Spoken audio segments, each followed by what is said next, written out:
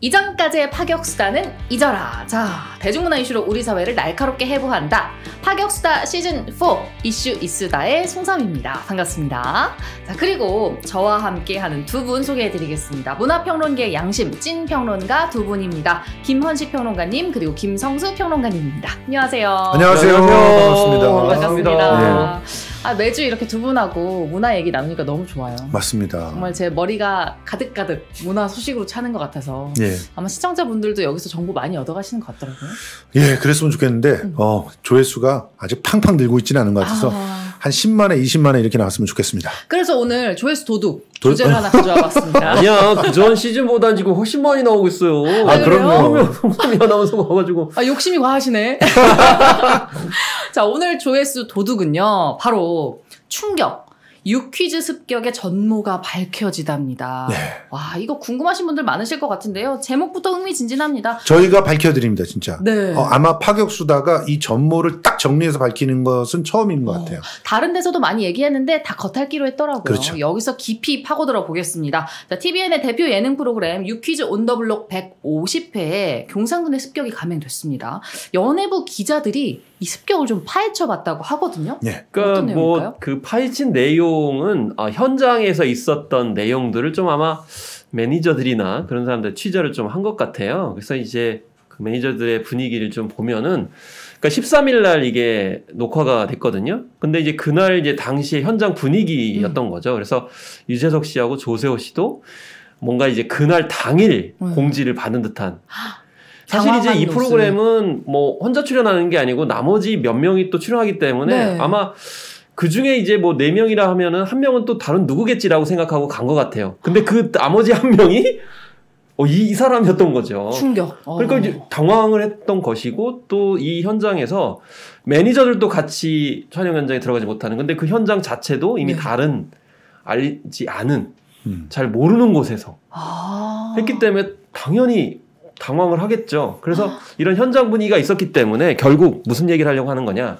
이건 너무 급작스럽게 누군가의 어떤 의도대로 만들어진 건 아니냐라는 게 요체죠. 네. 음, 그럼 진행자들도 몰랐다고 보시는 거죠? 아니, 실제로 지금 나오는 증언들이 뭐냐면, 네. 어, 어디 어디로 녹화를 하니까 와라라고 하는 것만 알았던 거예요. 음. 딱 도착했는데 커튼이 다 쳐져 있는 거야. 안에 안 보이게. 그래서 어? 뭐지? 이러고 들어가려는데 매니저는 못 들어오십니다. 마스크 쓰고 검은 양복 입은 사람들이 귀에다 뭐 꽂고 있는 사람들이 그렇게 얘기하는 경호원. 어.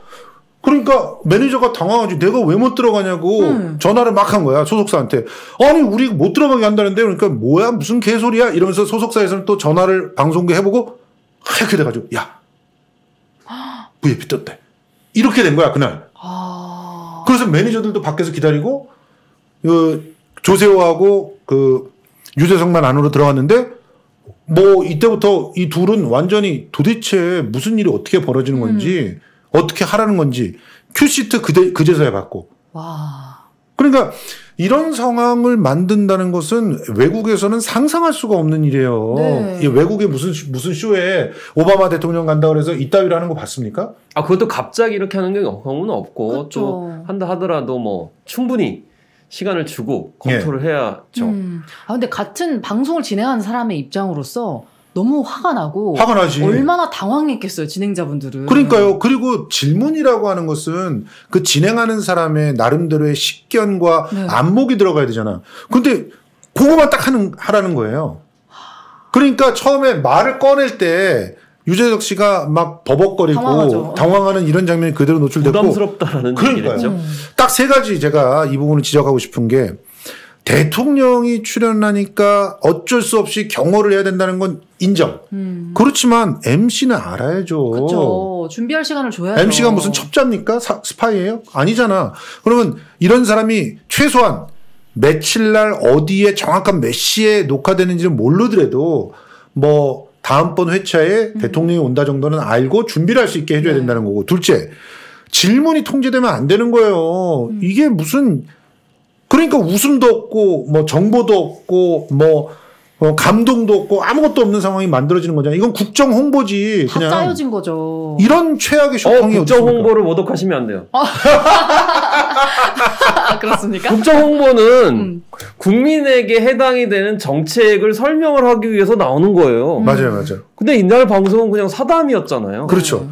맞아. 죄송합니다. 정확해요. 아, 맞습니다. 맞아. 그리고 이게 이제 세 번째로 의전이라고 할 때 의전의 기본이 뭐냐. 문재인 대통령의 의전의 원칙은 국민들에게 피해를 입히지 않는다예요. 음. 그런데 지금 어마어마한 피해를 입힌 거 아닙니까? 네.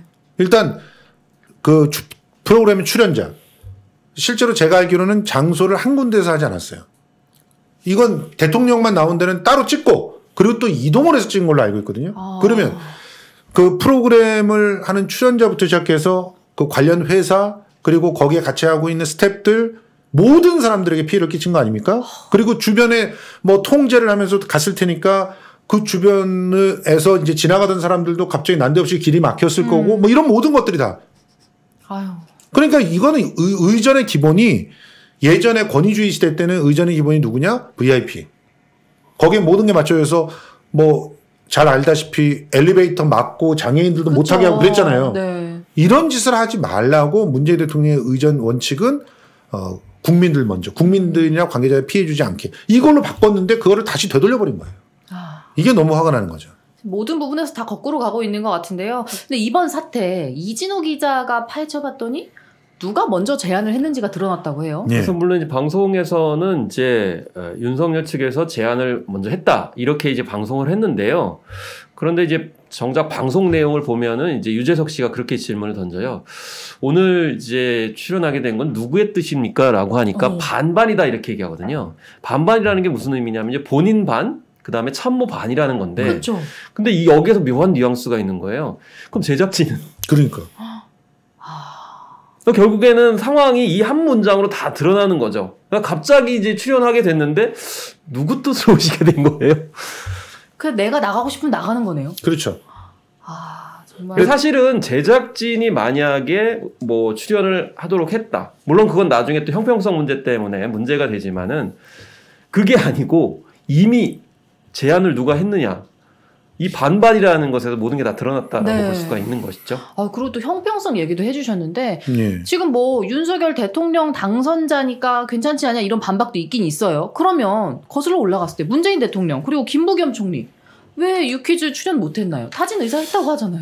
그러니까 이거를 갖다가 그 지금 기자들이 보도하고 있는 태도가 굉장히 좀 저는 못마땅하거든요. 자, 왜요? 문재인 대통령이 이 제안을 했다. 그랬는데 뭐 거절했느냐 마느냐 진실 공방 이렇게 몰아가요. 그런데 정확하게 말하면 문재인 대통령이 제안한 게 아니에요. 맞아요. 예. 제안을 누가 했느냐? 청와대에서 제안을 했고 음. 청와대에서 제안한 건 문재인 대통령이 출연을 그 중에 일부로 하는 거고 일부 문재인 대통령이 잠깐 나오는 거고 실제로는 뭐냐? 유퀴즈의 기획 의도를 정확하게 파악해서 청와대에는 이런 직종의 사람도 있다라고 하는 걸 조경사. 보여주면서 그렇죠 조경사 아, 뭐 경호원 뭐 이런 사람들을 보여주면서 거기에 대통령이 같이 잠깐 나오는 거 그럼 문재인 대통령이 주인공도 아니었던 그렇죠. 거네요. 그러니까 청와대 사람들인 거죠. 네. 그렇게 제안을 했는데도 거절. 그러면서 정치인들의 그 출연을 우리는 어, 좀 조심스러워한다. 이렇게 음. 거절했다는 것이고 그리고 또 김부겸 총리가 타진을 했었을 때는 유재석이 불편해한다라고 하는 이유를 대면서 유재석이 이제 궁 이렇게 정치를 하는 사람들을 이제 만나서 뭐 거기서 예능을 해야 되는 거니까 사실은 유재석 씨가 불편한 질문도 던지고 이럴 텐데 네. 이런 것들이 에, 되게 어렵다라고 고사를 했기 때문에 음. 마치 제작진이 고사한 것처럼 대답을 했거든요. 음. 그래서 그게 기사화되니까 또 어, 어떤 얘기가 나왔냐면 유재석이 먼저 고사한 적은 없다. 이런 식의 해명 기사가 또 나와요. 실제로 제작사가 되게 좀 비겁한 거죠. 그렇죠. 유재석 뒤에 숨은 거 아닙니까? 유재석 핑계를 대버린 거니까. 그러니까 한 번은 아예 CJ라고 하는 제작사가 청와대로부터 이런 제안이 왔는데 우리가 거절했다 이런 얘기를 그런 제안 없었다라고 얘기해 버렸고 음. 그게 뭐냐면 처음에 기사를 썼을 때 전부 문재인 대통령이 요청을 했는데 거절했다라고 하니까 문재인 대통령은 요청한 적이 없다는 거예요. 청와대가 요청했지. 음.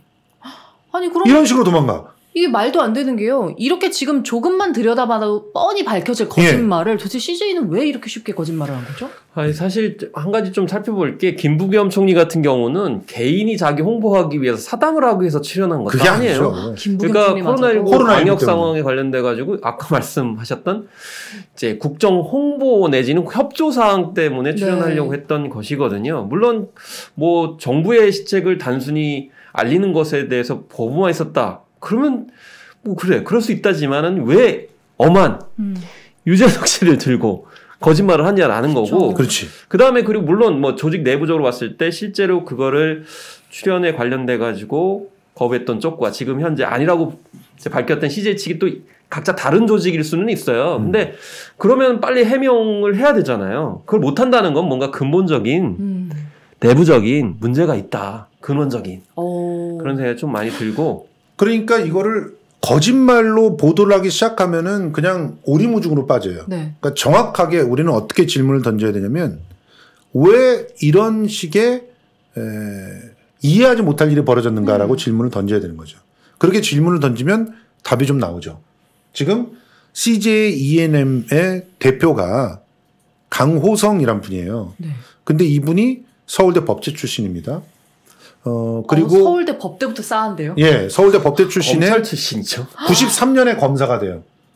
그리고 더 충격적인 건 97년부터 98년까지 2년 동안 수원지검 성남지청에서 윤석열 어, 지금 당선자와 함께 근무를 했어요. 이 정도면 깐부라고 합니다, 우린. 그렇죠. 전관을 따져볼 때 제일 먼저 따져보는 게 뭐냐면 학교 따져봐요. 정관 예우 받으려면 네. 학교 먼저 따져보고 그 다음에 어, 시, 그 연수원 동기냐 아니냐. 연수원 1년 차이에요. 음. 둘이. 1년밖에 차이가 안 나요. 그 다음 세 번째 같은 곳에서 근무한 적이 있느냐. 요걸 가지고 정관 노비를 하거든요. 그러면 CJ ENM은 왜 이 사람을 대표로 썼을까? 이 사람은 콘텐츠의 콘자도 모르잖아. 그러니까요. 전 아, 굉장히 이해할 수가 이해할 수가 없는 상황이거든요. 더구나 법무실장을 했어요. CJ에서. 네. 맞아요. 그러면 법무실장이 CJ E&M 대표다. 그럼 CJ E&M이 지금 일종의 로펌 회사가 됐나요? 그렇죠. 그러니까요. 아니 어떻게 검사 출신 대표가 그럼 지금 2020년에 법률 방송 콘텐츠를 만드나? 그렇지. 아, 이거 말이 안 되네요. 검사가 어떻게 그룹을 먹나요? 이게 가능한 일인가? 사실 이전에 이 방송 출연 이전에 CJ E&M이 CJ E&M 대표 이사가 법무실장 출신이다라는 거는 결국 콘텐츠를 콘텐츠로 제작을 하는 게 아니고 음. 다른 권력 관계를 활용을 하기 위해서 아, 이런 출신을 대표로 임명한 게 아니냐. 네. 그러면 유키즈 자체만의 문제가 아니고 그렇지. 앞으로 그리고 저희가 모르지만 물 밑에서 지금 현재 뭔가 의사결정 과정에서 음. 내부 그 제작진과의 충돌이 있을 수가 충분히 있다라는 네.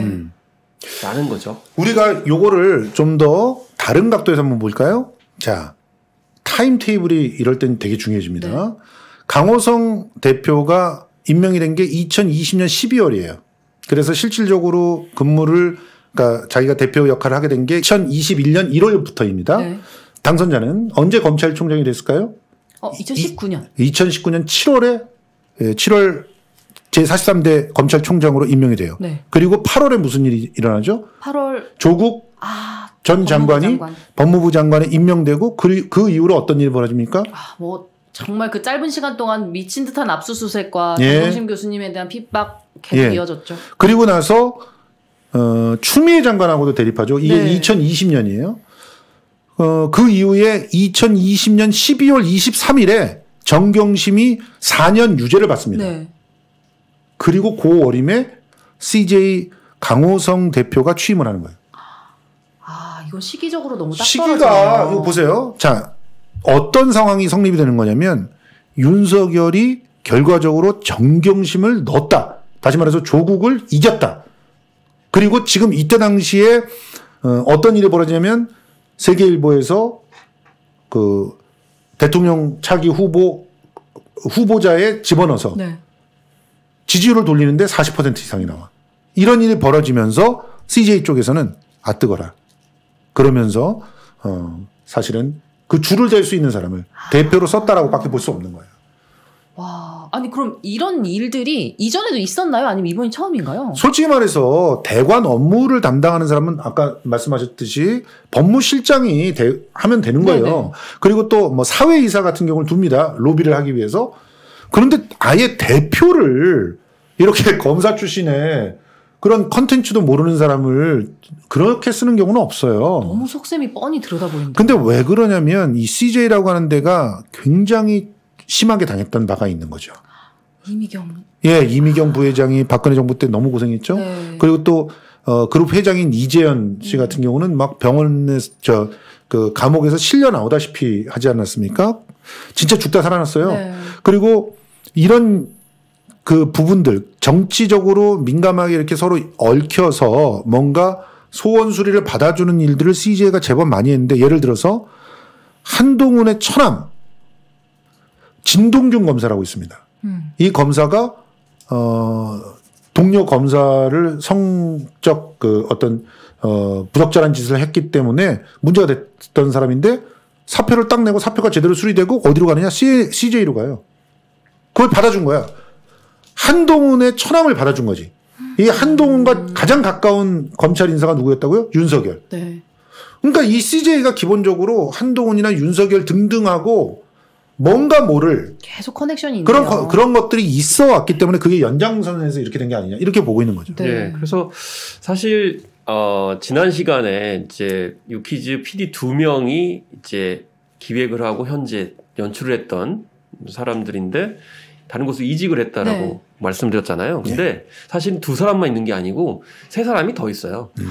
그러니까 거의 한 뭐 알려진 것만으로는 이제 다섯 명 정도가 네. CJ EM이라고 하는 다른 PD들은 가고 싶어서 못 가는 못 가는 뭐 그런 상황인데도 다 이직을 해버렸다라는 거죠. 근데 그 타임 테이블이 지금 현재 어, 올해 초부터 해가지고 계속 벌어지고 있다라는 것이기 때문에 그런 점에서 우리가 생각을 해야 될 게 아까 좀 말씀하셨지만은 컨텐츠를 잘 모르는 컨텐츠 업계 사람이 아니라 다른 음, 어떤 출신이 어, 대표이사나 혹은 리더가 됐을 때 어떤 일들이 벌어질 것인가 라는 거를 유퀴즈가 보여준 게 아니냐 그리고 네. 앞으로 그런 일들은 더 많아지는 게 아닌가라는 생각이 들고 일차적으로 이렇게 되면은 피해는 누구한테 가냐면 국민들에게 가는 겁니다. 그렇죠. 음. 유퀴즈도 사실 그 프로그램을 사랑하는 분들 특히 시청률 조사를 보면은 어, 한 시청률 조사 결과는 30대가 대거 이탈했고 네. 여성들이 또 대거 이탈을 음. 했다는 것이기 때문에 그럼 팬들한테 일단 아까 국민들한테도 현장 촬영에서 피해를 줬다고 말씀하셨지만 문화 향유권 관점에서는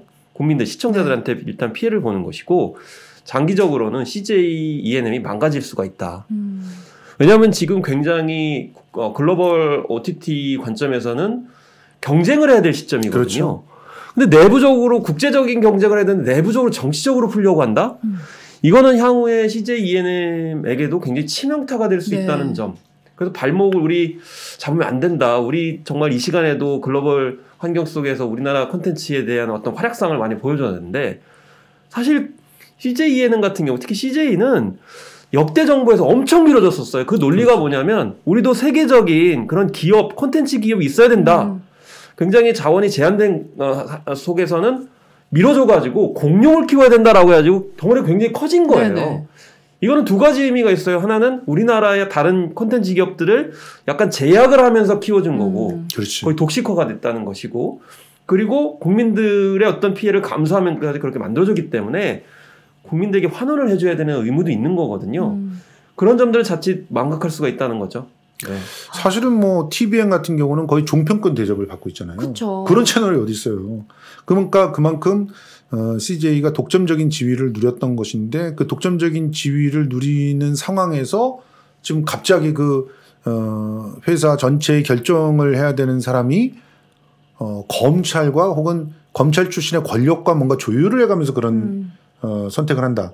그러면은 그 밑에서 제작을 해야 되는 사람의 입장에서는 굉장히 참 끔찍한 상황들이 그쵸. 벌어질 수밖에 없다는 거고. 그래서 이번에 그 150회 경상군 편을 보면 제작진이 약간 반발심을 드러낸 게 아닐까 싶은 흔적들이 조금씩 보이더라고요. 아 굉장히 예. 밋밋하고 연출들이 네. 눈이 건조하고 이런 예. 점들요. 음. 그리고 그런 것뿐만 아니라 저는 뭘 봤냐면 이게 첫 코너였잖아요. 첫 코너가 딱 진행된 다음에 두 번째 코너를 누구를 섭외했냐면 이성엽 대리라고 기업은행의 대리를 그 섭외를 했어요. 네. 이 사람이 누구였느냐?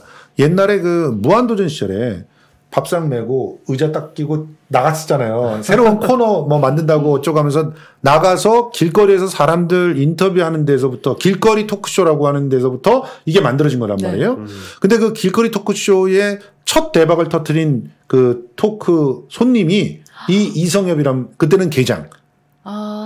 신입 2년차 계장이었던 분이 대리가 그때 됐어. 그때 어떤 명대사를 남겼냐면 사람들이 직장을 오래 다니려면 어떻게 하면 좋을까요? 이렇게 물어봤더니 이분이 어, 빚을 내면 됩니다. 이렇게 대답을 했어요. 그리고 마이너스 통장은 친구다. 뭐 이런 유명한 어, 명대사들을 하면서 아, 자, 현실적인 얘기야. 신입 사원들의 애환을 갖다가 너무 잘 그려낸 거예요. 너무 친숙하잖아요. 어. 서민적이고. 이 사람을 데려왔어. 그래서 우리의 초심은 이거다는 걸 윤석열 뒤에다 딱 붙여갖고 보여주는 비교가. 확 되게. 비교가 확 됐죠. 네. 너무너무 이, 이 코너는 재밌었어. 살아있었고, 서민 얘기야. 서민 얘기. 이거 어떻게 보면 맥인 거네요. 그렇죠. 이 서, 이, 진짜 못됐던 건 여기서 또 어떤 걸 갖고 매겼냐면, 자, 그 연봉, 내가 마음대로 정할 수 있으면 얼마까지 받고 싶어요? 그랬더니 저는요, 6시에 퇴근할 정도만 받았으면 좋겠어요. 저녁 있는 삶이 너무 좋습니다. 그러면서 난 저녁에 가서 워라벨. 여러 가지, 어, 그거 얘기하는 거야. 120시간을 얘기하는 당선자 뒤에다가 저는 6시까지만 일하고 싶어요. 이런 사람을 딱 붙여. 그리고 거기서, 어, 자기가 취미생활로 배운 춤을 쫙 보여줘. 근데 아유. 너무 재밌죠. 재밌는 거야. 너무 어, 잘하고. 저는 괜히 그분이 앞에 게스트 때문에 피해 본 건 아닐까 걱정이 되네요. 저는 좀 더 돋보인 것 같다는 생각이. 어, 그럼 정말 천만다행이고요. 이 개인한테는 좀 도움이 됐다는 생각이 들었어요. 네. 그러니까 이건 누가 봐도 이건 연먹인 거 아닙니까? 음. 음. 그리고 저는 윤석열 당선자도 이번 출연으로 특별한 해- 이득을 보지 못했다고 보거든요. 어떤 이미지적으로 봤을 때 본인에게 이득이 됐을까요 이게? 실제로 역풍을 아니 사실 받았죠. 뭐 시청률 면에서 보면은 두 가지 두 어, 이제 그런 시청률 조사 기관에 따르면 하나는 이제 3.5 나왔고 하나는 4.4가 나왔거든요. 근데 4.4는 0.6 이제 상승한 거고 3.5는 오히려 이제 3 0.3이 떨어진 거예요. 음. 근데 원래 이 프로그램은 보통 4.8에서 5.56 정도 나오는 프로그램이거든요. 예. 그런 점에서 봤을 때는 별다른 효과를 이제 보지 못했다라고 음. 생각이 들고 그리고 뭐 악플을 엄청나게 받았고요. 음. 그런 점에서 여러 가지로 좀 예, 오히려 마이너스였던 그런 출연이다. 심지어는 보수 쪽 내부에서도 왜 그 프로그램에 출연했냐라고 할 그렇죠. 정도로 예, 비판에 직면했던 패착이었다고 생각이 들어요. 저는 내용 안에서 조금 더 설명을 해드리면 네. 처음에 이제 굉장히 그 두 사회자가 무서워하면서 오프닝이 시작됐고 불편해하죠. 예. 막. 그러면서 굉장히 카리스마를 더해주는 것처럼 연출해서 딱 등장을 했는데 등장해서 어, 두 사람은 굉장히 긴장해서 어색해 하는데 혼자서 딱 앉아요. 먼저 앉았어요. 어. 먼저 앉으면서 제가 그때 이렇게 얘기합니다. 아우 수- 솔직히 저는 이런, 토크가 가능할 거라고는 생각하지 못했는데 할 때 갑자기 말을 탁 자르면서 영광이죠, 영광이죠. 그러니까 아, 앞에 생략된 게 나를 만나서 인가? 그렇지. 나랑 이런 그 편안한 대화를 이 편안한 소통을 할수 아니죠. 있는 그게 아니라 오히려 유재석 씨를 봐가지고 영광이어야 되는 거 아닌가? 그렇죠. 우리가 생각할 땐 네. 당연히 그렇게 돼야 되는 거고 만약에 문재인 대통령이 나왔으면은 우리 상상이 딱 그러잖아요. 유재석 씨 배려하면서 하, 유재석 씨랑 어. 만나서 영광입니다. 이렇게 얼마나 훈훈해졌을까. 어, 얘는 안녕하세요. 딱 들어서 어, 어 이러더니 영광이지? 영광이죠. 와, 이 장면에서 그냥 끝났어요. 너무 비슷해. 비슷하면 안 되는데? 네, 아, 그 짜증나 나온 장면인데 너무 비슷해서 웃음이 나네요. 아, 아니, 그러니까 이 오만 방자의 극치를 선보였고 그 이후에 얘기하는 거 보면은 뭐 또 자기가 역시 그 뭐 함 지러 갔다가 오히려 어 구수 만에 통과했던 얘기 옛날에 했던 얘기 또 똑같이 어 무슨 고장난 레코드 반복하듯이 반복하다가 대통령이 돼가지고 잠을 못 잔다 뭐 이런 얘기를 하는데 어 근데 본인 때문에 잠을 못 자는 국민들에 대해서는 아무런 얘기가 없잖아요. 그렇죠. 그러니까 자기가 이렇게 고생을 하고 있으니까 어 자기가 어 이만큼 대접을 받아야 된다라고 하는 걸 강조하고 있는 네. 그런 꼰대의 모습. 아니 국민이 불러서 나왔다더니 국민 얘기를 안 하는 게 국민 얘기는 없더라고요. 뭐 국민의 피해를 주고 이런 건 전혀 생각 없고 어 내가 열심히 하면 국민들이 뭐그 덕을 보니까 이런 식의 얘기인데 어 사실 국민들이 그 덕을 볼 생각은 전혀 없거든요. 누가 정치인들 때문에 덕 볼 생각하고 있습니까? 네. 그러니까 기본적으로 정치 철학도 없고 아무것도 없다는 것을 다시 한번 입증한 자리가 됐다 이렇게 음. 볼수 있습니다. 전 그래도 이번에 러브레터나 아이빌리브는 안 나와서 그나마 다행이 아니었나 생각을 했거든요. 아, 과연 이분이 다음에 또 이런 비슷한 시도를 할까라는 걱정은 좀 됩니다. 어떻게 생각하세요? 사실 아까도 말씀하셨지만은 이제 별다른 소득이 없기 때문에 네. 나오지 않을 거라고 생각이 들고 사실 CJ 이해남 그 구조 자체가 전 문제라고 생각이 음. 들어요. 그러니까 우리가 이제 방송의 어떤 의사결정 구조 그리고 수장이 되는 사람들이 어떤 사람이 임명이 돼야 되느냐의 관점에서 봤을 때 CJ ENM 자체는 거의 무주공산에 불과하다. 음. 야, 아까 좀 말씀드렸듯이 지금 CJ 같은 경우에는요 콘텐츠 산을 보면 웬만한 방송사 몇 개를 합친 정도의 콘텐츠 규모와 매출액을 기록을 해요. 음. 왜냐하면 소유하고 있는 케이블과 방송사가 굉장히 많기 때문에. 네. 그래서 공룡입니다. 그러면 그 공룡을 이끄는 수장이 누구 이어야 되는가는 굉장히 심각하게 생각을 해야 돼요. 그리고 앞으로도 누구를 임명할 때는 정말 그 부분에 있어서 굉장히 치열하게 언론에서 보도를 해야 됩니다. 그렇지만 언론에서 보도를 안 해요. 음. 그냥 눈 감아주고 왜냐하면. CJ가 엄청나게 관리하거든요. 언론 보도를 예. 그렇기 때문에 저는 이 사태가 일어났다고 보기 때문에 이건 충분히 앞으로도 예, 누가 오든 간에 펼쳐질 수 있다고 보는 거죠. 아, 그러니까 저는 어 앞으로 이런 시도를 뭐 안 할 거라고 생각하는데 저는 더 할 거라고 생각하는 게 2020년 12월에 이 사람을 대표로 앉힌 건 이런 거 하라고 하는 거예요, 사실은. 이번에 SBS가 1등 공신됐잖아요. 그걸 못 보죠. 음. 집사부 일체를 통해 가지고 SBS가 어 윤석열의 이미지를 그 계란말이 장인을 만들어 계란말이 장인 만들어 가지고 예. 어 그렇게 만들어 준 걸 온 동네 사람이 다 아는데 공을 세워야 되잖아요. 저는 제 추정입니다만 어 TVN 이 대표가 오히려 더 하고 싶어 했을 것이다. 아, 그리고 그런 걸 또 굉장히 좋아하시는 분이 누구냐? 아내잖아요, 아내. 그렇죠. 그런 예. 분야를 좋아하시죠 또. 굉장히 좋아하잖아요. 그래서 이 아내가 아이디어를 내고 그것을 이 CJ ENM의 대표와 잘 조율을 해가지고 만든 작품이라고 보기 때문에 언제든 또 할 수 있다. 이번에 이게 안 된다면 다른 쪽을 통해 가지고 언제든지 또 시도를 할 가능성이 크기 때문에 저는 굉장히 참 불편한 사회가 왔다는 것을 이런 것들을 정말 못하게 만드는 어떤 특별한 법이라도 있어야 되지 않는가 네. 하는 생각을 강력하게 합니다. 어, 일단 두 가지 점을 말씀드리겠는데 하나는 이제 형평성입니다. 누구는 되고 누구는 안 되고 절대 그러면 안 된다고 생각을 그렇죠. 하고요.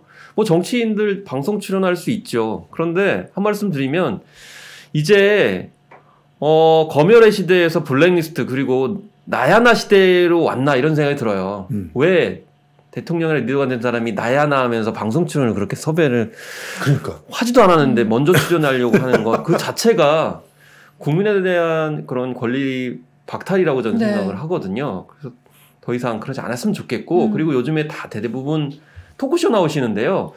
그냥 대담 프로에 나오셔가지고 국민들이 원하는 이야기를 좀 많이 들려주셨으면 네. 좋겠어요. 정책 얘기도 좀 해주고. 네. 정책이 없잖아요. 아, 잠깐 착 깜빡할 뻔했는데 네. 김성수 평론가님이랑 김원식 평론가님 얘기를 들어보니까 저 이분이 나중에 혹시 저 엠넷의 스우파 이런 거라도 나온다고 할까 나올 가능성이 높아요. 너무 걱정이 벌써 되네요. 아, 수우파에 나와서 사람들 뭐 칭찬해주고 상 주고 뭐 이런 것도 얼마든지 할 수 있어요. 제발 앞으로는 저희 김성수 TV에서 그 얘기를 안 다룰 수 있기를 네, 바래 보겠습니다. 그렇습니다. 저희가 일부에서 이렇게 충격, 유퀴즈 습격의 전모를 밝히다 이야기를 좀 나눠봤습니다. 아, 좀 얘기할수록 더 화가 치미니까 여기까지 하도록 하겠습니다, 여러분. 그리고 잠깐 쉬어가기 위해서 광고 만나볼게요. 정치시사 문화평론 채널 김성수TV 성수대로의 성수마트 함께하는 거 아시죠? 자, 성수마트는 성수대로를 사랑해주시는 여러분들과 상생하기 위해서 만든 온라인 쇼핑몰입니다. 성수마트에서 쇼핑하시면요. 그 판매 수익금은 고스란히 김성수TV 성수대로 운영비로 돌아옵니다. 제품도 굉장히 다양하고 많거든요. 성수마트 오셔서 신선한 제철식품부터 간편식, 건강식품, 생활용품, 필수 가전까지 천여 개에 달하는 상품들 둘러보시기 바랍니다. 빵준서 제품도 있거든요. 이제 성수마트에서 구매하실 수 있으니까 참고하시기 바라고요. 자, 그리고 저희가 광고하는 특정 제품이 아니더라도 여러분들의 자발적 쇼핑이 후원이 되는 곳 바로 성수마트입니다. ss마트.co.kr 회원 가입하시고 구매하시면 무조건 무료 배송입니다. 천 원짜리 하나를 사셔도 무료 배송이니까요. 꼭 애용해 주시기 바랍니다. 자, 그리고 이어서 지금 성수대로 커피 예. 광고도 좀 만나보겠습니다. 와. 김성수 커피 예, 정말 커피가 건강식품이라고 하는 것을 느끼게 해드리는 그런 커피 예, 준비하고 있습니다. 최고급 원 어, 생두에다가 그 생두를 정말 좋은 기계와 또 장인의 레시피로 잘 볶아가지고 그걸 고스란히 이 봉투에 담았습니다. 어, 여러분들한테 갈 때 요 200g짜리 3개 봉투가 가는데요.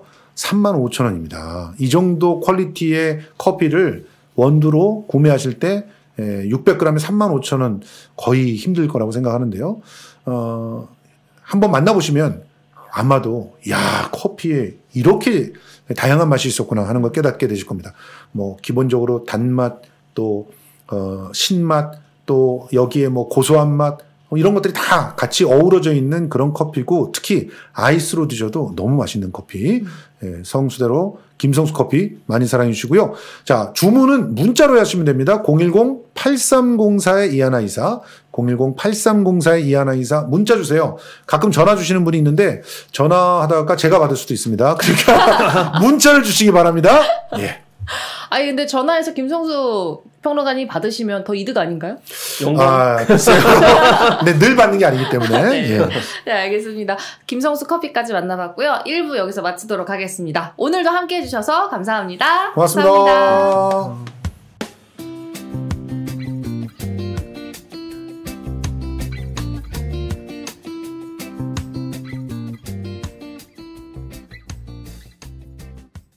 방송 어떠셨나요? 방송에 대한 의견과 댓글들 많이 많이 남겨주시고요. 좋아요와 구독도 부탁드립니다. 이상 유지연이었습니다.